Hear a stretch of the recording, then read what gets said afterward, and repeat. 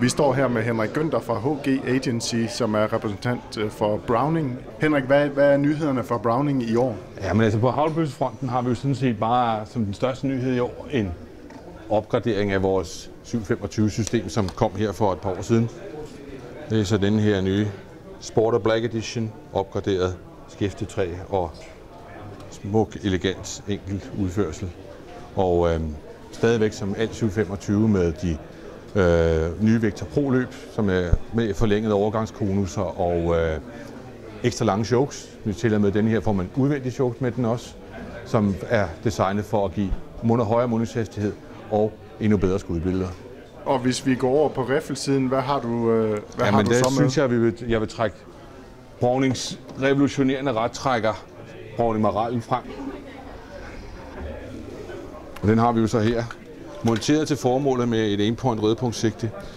Det, der gør den her fuldstændig unik, det er jo det er den første rettrækkerifle på markedet, som arbejder af sig selv. Det vil sige, man behøver ikke at køre den frem selv. Den, man trækker den bare tilbage, så repeterer den selv. Og det vil sige, det gør det til det suverænt hurtigste af de her rettrækker, som der findes på markedet. Generation 2 af rettrækkerne kalder jeg den. Hvad, hvad er så danskernes foretrukne kaliber på Ja, men riffelsiden? altså, det er jo faktisk 308 3006 er jo stadigvæk det, det, det foretrukne. Og det dækker jo også til langt det meste formål.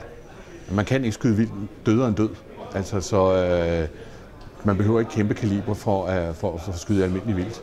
Hvis vi så lige taler magasin, hvad, hvad er der kapacitet til i, i magasin på Ja, men sådan den en her der? leveres som standardkaliberne i 308 306 med 4 skuds magasin og i 300 Magnum og Nitra 62 med 60 skuds magasin.